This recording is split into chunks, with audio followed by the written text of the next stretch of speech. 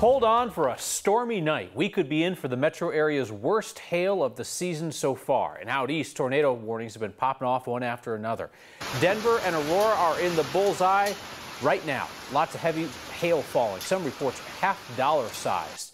If you were in it, you don't need me to tell you, it is loud. Out on the eastern plains, tornadoes touched down near Akron. They were under tornado warnings for hours, with two tornadoes touching down at the exact same time. We're checking with first responders out there about possible damage. Out in Sterling, several inches of rain in one afternoon is just way too much for the streets to handle. Daryl sharing this video of the flooding in his neighborhood tonight. Danielle Grant, so we got Act 1 this afternoon, brief intermission, Act 2 right now. Ooh, lighting up the night sky, you guys. The storm system sitting right atop downtown Denver. Back behind it, still quite the lightning show, plus the hail. We're dealing with hail pushing directly here to the city, something we have been waiting on throughout the afternoon, where most of the action was off to the eastern plains. Tonight, the focus returns to downtown. We are under a severe thunderstorm watch until 10 p.m. Would not be surprised if we see that extended out. And then a severe thunderstorm warning directly across downtown Denver and then further off to the east. Adams Arapahoe, Denver, and Jefferson County. See this area in blue, kind of near Park Hill? That's the hail core. That's where we're experiencing uh, the largest hail within this cell. It's shifting to the east ever so slowly. I mean, it is just crawling about 10 miles per hour. A lot of lightning as you push out toward DIA. This definitely could be impacting folks out there. But again, heavy rain and a whole lot of lightning and thunder. Out to the west we go. Another severe thunderstorm warning into the foothills. This storm system has just been building upon itself, dropping so much rain. So there's still more in the pipeline to push back in here to the city. So this storm system that's over us, it's just the beginning. Northern Colorado out there toward Fort Collins into the foothills Still looking pretty ominous. Storms just to the northeast of Greeley and still around I-76. It has been busy. The eastern plains looking at the storms primarily across the far eastern side of the state now, but around Sterling and Akron where we saw those tornadoes earlier this afternoon, we saw anywhere between two, three, four inches of rain come down. So flash flood warnings are going to continue until at least 1030 tonight. Look at this, the dew points, 50s and 60s. This is something rare that we see for the Denver metro area and off to the eastern plains. This is just showcasing how much moisture is in the atmosphere. The winds have been cranking 20 to 30 miles per hour. As we go throughout the next couple of hours, these storms will shift ever so slowly off to the east. By 7 o'clock, we get a brief break tomorrow morning before we do it all over again tomorrow afternoon. Meteorologist Lauren Robinson, she has been on the ground tracking these storms, kind of following them. Lauren, it sounds like you're right smack dab in the middle of it.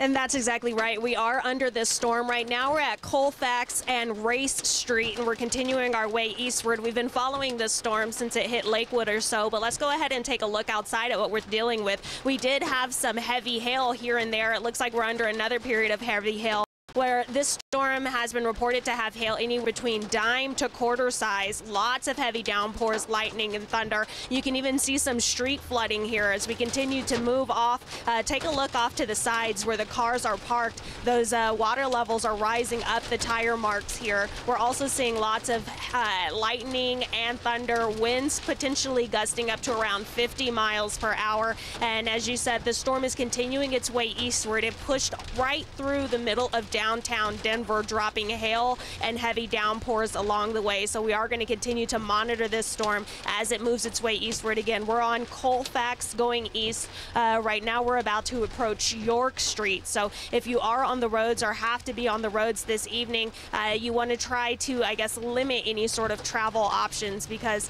uh, we are seeing these uh, cars uh, not doing too well. We were on Highway 6 uh, maybe about 10 minutes ago, and we were seeing lots of cars cars doing exactly what you're not supposed to be doing, and they were stopping under the overpasses, under the bridges as hail started dropping, and that was causing a lot of uh, congestion and hazardous travel for other drivers behind those cars that were stopped along the underpass and uh, the bridges there. So again, we're going to continue to monitor this storm. We have the severe thunderstorm warning right over downtown Denver until around 9:50 of that you also have uh, some strong off into the plains all day long. Right now we have Kelly Rinke out near Greeley uh, following some storms there. So Kelly, what are you seeing? Hey, Lauren, stay safe out there. Well, it's pretty stormy here in Greeley, but the weather relatively calm. Just a little bit of lightning, a little bit of rain, but it was nothing like what we saw in Brighton earlier this evening. Take a look at some video we took just a couple of hours ago. The wind picked up and that storm pounded the area. Pea-sized hail came down pretty hard, forcing a lot of people to take cover at a gas station, including some very good boys. They were just waiting for their TV moment. Those golden retrievers were so cute. But unfortunately, we saw someone that wasn't able to get under cover as quickly. We saw a guy caught in the storm on his bicycle.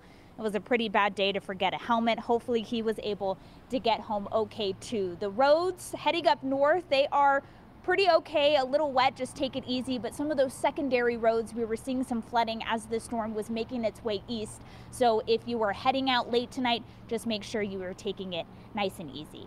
Guys, back to you. Yep, just a good, good wash there for Greeley as Denver and Aurora get their good wash right now. Kelly, thank you. The storms are still going on the eastern plains where that tornado warning started about 3 o'clock and just kept going for five hours. At least 18 tornado warnings issued this afternoon outside of Sterling and Akron. At one point, our Cory Reppenhagen looked like he was reporting from the dark of night when it wasn't. It was just that dark out there. Now it is actually night, Cory, and what are you seeing? Well, I'm in Hudson right now, and uh, a, a, thunderstorm just moved through here. It's severe warmed, and it's kicking some uh, strong winds back out towards me. I may be able to catch that one that's coming out of the Denver metro area when I'm done here. But it was really quite an experience to watch the mechanics of these thunderstorms today. Uh, like you said, past 18 uh, tornado warnings. That's the second time. May 8th had 17. So this is the most tornado warnings we've seen since 2014.